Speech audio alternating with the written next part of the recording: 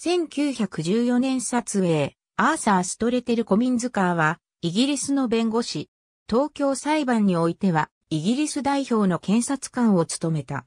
オックスフォード大学を卒業後、弁護士となり、直選弁護人、グレー放送学院の評議員を務めた。前方の権威で、イギリス放送界の指導者の一人だった。東京裁判では、イギリス参与検察官として、1946年2月2日に来日した。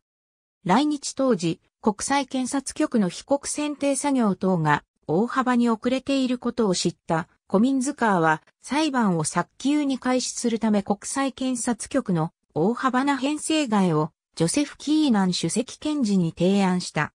このことが受け入れられると、新設されたの執行委員会の議長となり、能率的な検察活動の指揮に当たった。